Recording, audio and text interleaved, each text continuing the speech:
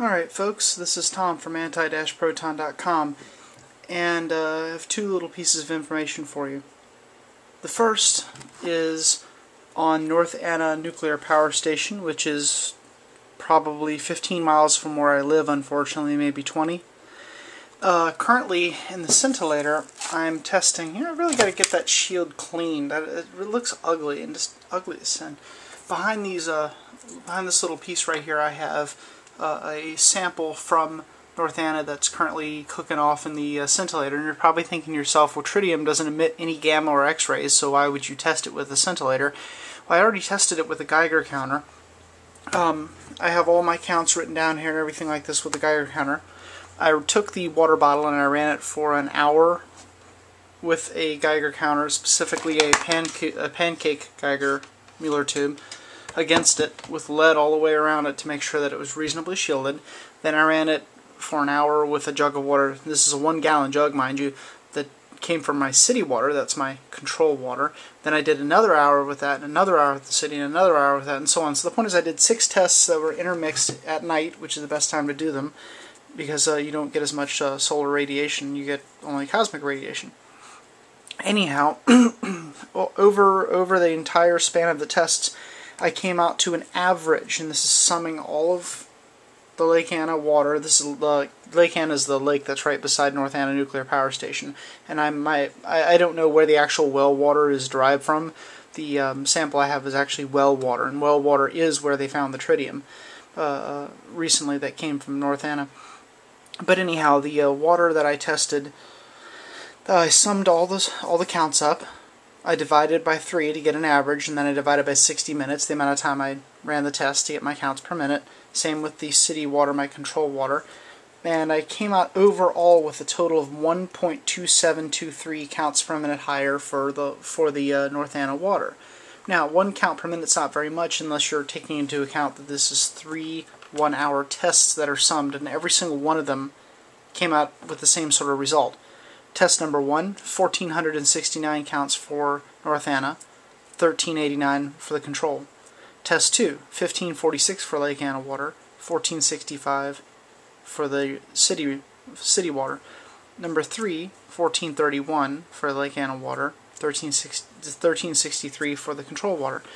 So as you can see, every single time the the North Anna water came out more radioactive. In fact, every single one of its counts are higher. So, I'm running it through the um, scintillator here to see if I notice anything like uh, maybe natural uranium or something like that that could be causing this effect. Because the problem is I don't really have a control from North Anna from before the leak occurred, assuming that it's not just been there a long time, because there's evidence now to suggest that maybe the leaks have been there for a while. So I won't ever be able to get a truly conclusive test out of this because I can't perform beta spectroscopy, which is what I would require to actually know if this were tritium. But anyhow, as you can see, there it is on my screen. Back, this is my uh, lead shielding, 511 kiloelectron volts. Nothing really going along here. So there's not really much of anything in the water, so I'm torn as to what the cause could be. The second part of this video is to talk to you about um, uh, tea. I finally tracked down a bottle of tea that I think may be from right around the perfect time. Here goes my pen. Here, let me show you. This, this tea may have actually come from right around the Fukushima time period. For example, Friday, March 11th, 2011 is when Fukushima occurs, the actual um, uh, earthquake that causes everything in the tsunami and how many days was it? Let me see, I, I just calculated here. 26 days later, 26 days later on April the 6th of Wednesday, this bottle of tea is made. And this bottle of tea is, where does it say it? Where does it say it? Where does it say it? There we go. Product of Japan. Most of these don't say that anymore. If you buy these and look at them, they say product of Thailand. So this guy was made in the first month. So there's no real way to know if this is contaminated or if that's right or not, but I haven't been able to find anything even remotely close to this. This occurred, this was made right before they stopped shipping. And I know it was made at that time because I take the uh, neck band around the top and subtract 15 months from it, which is what I was told by Ito-En is the method to determine how old these things are when their actual production date. So there's no real way to know, but this is possibly contaminated.